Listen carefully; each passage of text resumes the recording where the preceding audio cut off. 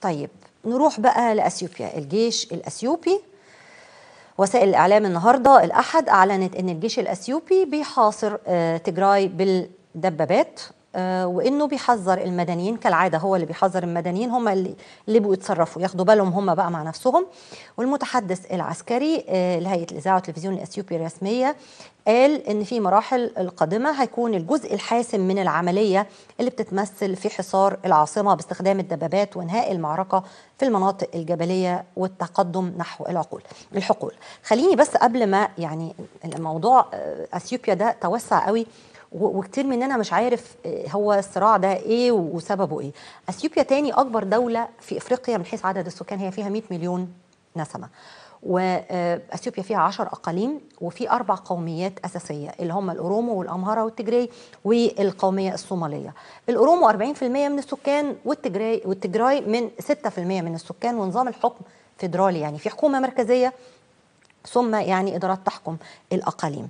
من آه، فترة طويلة جدا كان في آه، حاكم ديكتاتور اسمه منغستو كان في آه، حركة تمرد. المهم إن هم اتجمعوا مع بعض وقدروا إن هم يكونوا تحت لواء جبهة تحرير التجراي إنه يتخلصوا منه وسيطروا على مفاصل الدولة والحكم لمدة تقريبا 25 سنة. المفاصل اللي تخص الاقتصاد والمناصب السياسية المعينة. الأورومو كانوا شايفين إن هم مهمشين.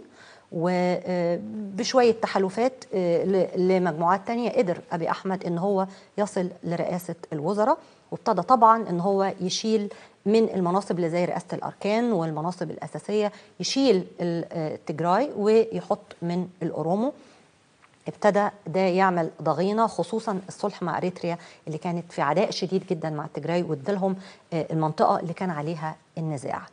إيه اللي حصل؟ اللي حصل؟ إنه كان في انتخابات مفروض إنها تحصل، أبي أحمد قال إنه بسبب ظروف كورونا هنأجل الانتخابات، تجراي عملوا انتخابات لوحدهم وقالوا إن إحنا مش معترفين بشرعية أبي أحمد، هو قال ان إحنا مش معترفين بشرعية الانتخابات اللي تمت في التجراي. النتيجة كانت إنه منع عنهم التمويل المالي وبالتالي است- استعانوا بقى واستغاثوا المجتمع الدولي إنه يشوف فيه إيه. ما حصلش حاجة. النتيجة إنه اندلعت الحرب بينهم وابتدت آه، الحروب المسلحة اللي بقالها فترة دايرة. 200 ألف واحد نزحوا ناحية آه، السودان لأنه هي آه، شمالها آه، إريتريا وغربها السودان.